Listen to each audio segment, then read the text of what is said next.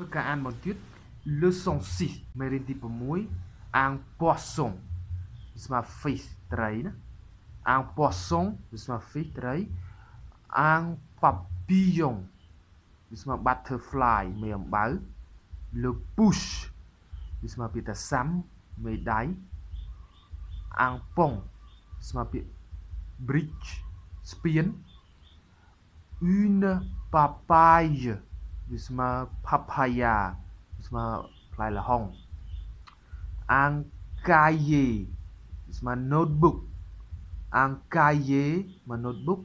ហៅសរសេរ une grenouille une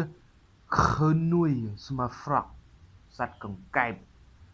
le marché le marché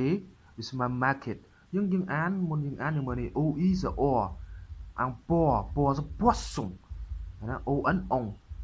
អាំងប៉ាពីយ៉ុងអូខេ OUI OU le pouce I E E I E